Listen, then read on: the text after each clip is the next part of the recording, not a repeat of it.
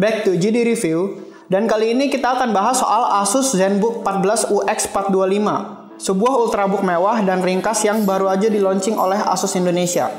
Ini merupakan penerus dari ZenBook 14 generasi sebelumnya, dan pastinya ada banyak banget peningkatan yang disematkan.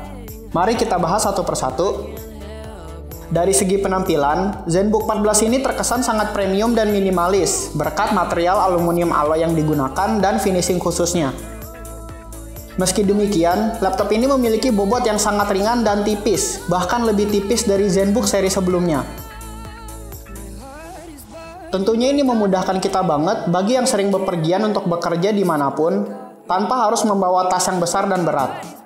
Bahkan bekerja tanpa meja pun sangat mungkin dilakukan dengan ZenBook 14, karena bobotnya yang super ringan, yaitu hanya 1,13 kg.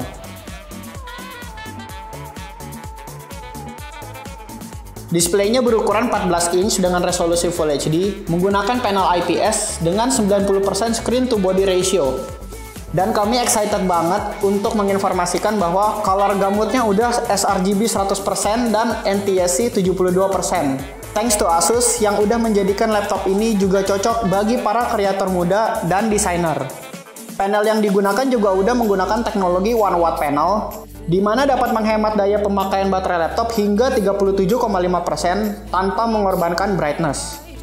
Layarnya juga berfungsi sebagai ergo lift hinge, yang di mana pada saat kita membuka laptop, bagian bodi di keyboard akan terangkat sekitar 3 derajat untuk meningkatkan kenyamanan pemakaian serta meningkatkan sistem pendinginan juga. Di bagian dapur pacu, ZenBook 14 ditenagai oleh Intel Core i7 10th Gen dan ada juga varian Intel Core i5 10th Gen di mana keduanya udah quad core dan octa thread yang memiliki boost clock lebih dari 3,5 GHz. Yang menariknya lagi, Intel Core i7 yang hadir di ZenBook 14 ini didampingi oleh GPU integrated Intel Iris Plus Graphics yang performanya lebih tinggi jika dibandingkan dengan Intel UHD Graphics.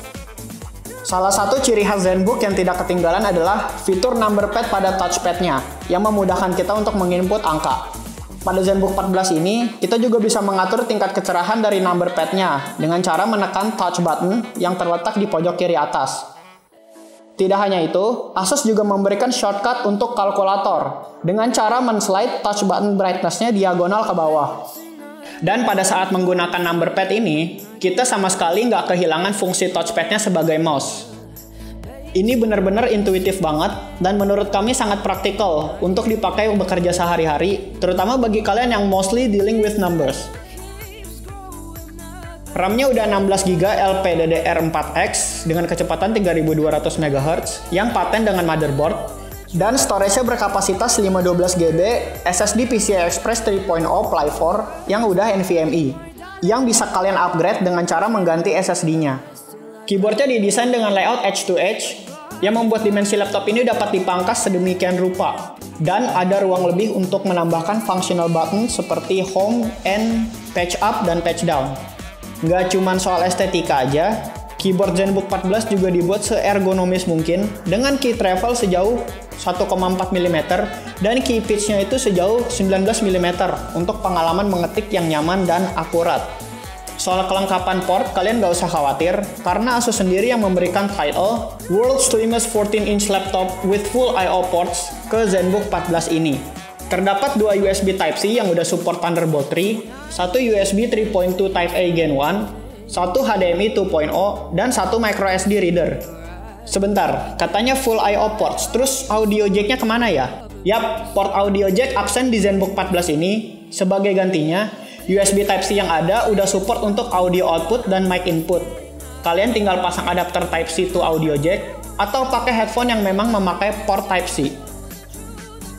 Tapi buat kalian yang lebih senang dengan speaker, ZenBook 14 dilengkapi dengan speaker yang udah dapat sertifikasi dari Harman Kardon untuk audio yang jernih dan high fidelity. Untuk konektivitas, ZenBook 14 dilengkapi dengan dual band Intel Wi-Fi 6 Gig Plus yang memiliki kecepatan hingga 2,4 gigabit per second dan latency yang lebih rendah. Serta nggak ketinggalan juga ada Bluetooth 5.0-nya.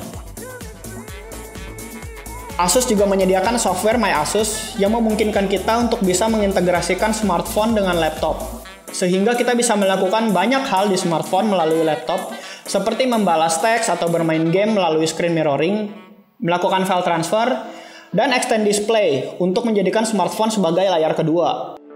Fitur lain lagi yang menarik dari laptop ini adalah webcamnya yang dilengkapi dengan 3D IR dan terintegrasi dengan Windows Hello. Jadi kita dapat dengan aman dan praktis melakukan sign in ke Windows 10 dengan wajah kita sebagai password meski dalam keadaan gelap sekalipun. Build quality-nya juga udah lulus sertifikasi military grade yang membuat laptop ini dapat dioperasikan dalam berbagai kondisi ekstrim. Soal ketahanan baterai, ZenBook 14 mengadopsi baterai berkapasitas 67 Wh lebih besar 17 watt hour dari generasi sebelumnya. Namun jangan lupa, ZenBook 14 UX425 ini tetap lebih tipis dan lebih ringan. Dengan panel layar 1 watt, serta CPU dan GPU yang sangat irit konsumsi daya, Asus dapat dengan mantap mengklaim bahwa baterai life dari ZenBook 14 ini dapat mencapai 22 jam pemakaian menurut pengujian internal Asus.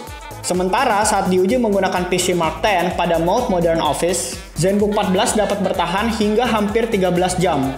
Kalau rata-rata pekerja kantoran itu kerjanya sekitar 8 jam sehari, berarti ZenBook 14 dapat menemani kalian untuk bekerja seharian tanpa charger.